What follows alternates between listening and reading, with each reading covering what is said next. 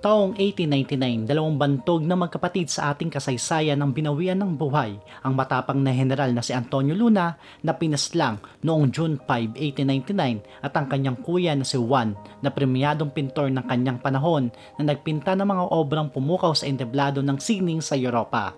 Pumanaw si Luna noong December 7, 1899 at sa Hong Kong na siya inabutan ng kanyang biglaang pagkamatay sa edad na 42. Ano nga ba ang katotohanan sa pagpanaw ni Juan Luna?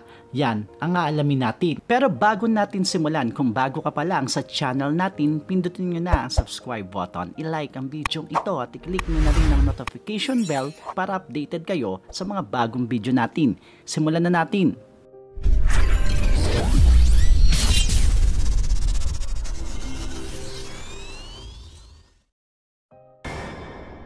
Si Juan Luna de San Pedro y Novicio Ancheta ay isang Pilipinong pintor, eskultor at isang political activist ng panahong Rebolusyong Pilipino.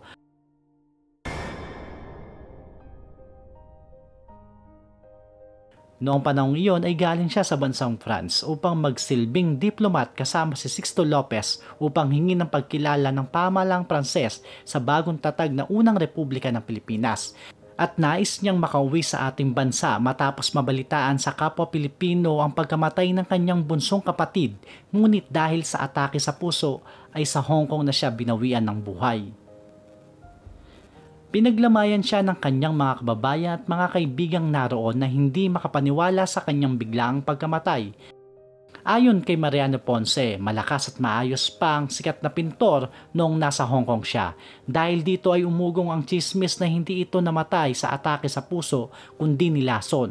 At ang pamilya Pardo de Tavera ang itinuturong nagsagawa ng pagpatay kay Juan Luna upang ipaghiganti ang pagkamatay ni Paz Pardo de Tavera na kanyang asawa at benang si Juliana Pardo de Tavera sa kanyang sariling kamay. Ngunit mariing itinanggi ng mga Pardo de Tavera ang naturang akusasyon.